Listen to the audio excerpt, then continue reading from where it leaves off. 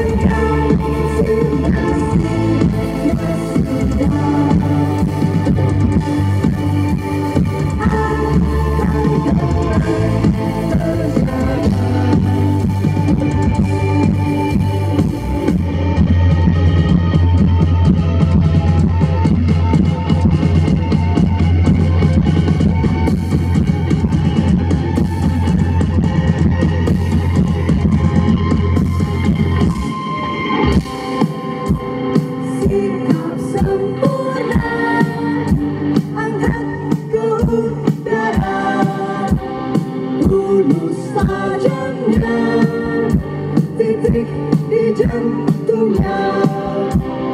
Thung dục vẫn đôi